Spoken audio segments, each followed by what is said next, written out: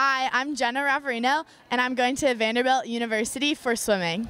I'm really excited. It's um, a relief. You know, this is my dream school, so I'm just so excited that all my hard work has paid off and can't wait to see what the future holds. Well, Vanderbilt's been my dream school for a while now because of the incredible academics as well as the SEC athletics, which is just going to be super awesome and it's really going to challenge and push me. I've just always loved swim. It's um, it's my passion. It's something that brings me so much joy, and just the feeling from my hard work paying off is, I mean, it's indescribable. It's really amazing and something that I've just loved to do, and I think it's made me who I am. I think the biggest thing that I've learned is that if I want something, I have to work for it, no matter what. Like for me, the feeling of my hard work paying off is just so rewarding, and it's something that I love. Is like learning that if I want anything, I know I can work for it in order to achieve it. Um, my favorite swimming memory would either be last year I won both my events at EBALs, which was really exciting, or freshman year I remember anchoring the NCS relay with all the seniors, and I was super nervous, but they just made me feel like you know, I deserved that spot there, and it was really exciting. Um, something that I love about Carondelet is how um,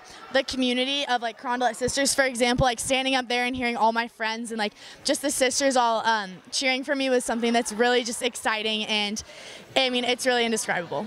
Um, just like my parents and my coaches and all my friends for being there and just supporting me every step of the way.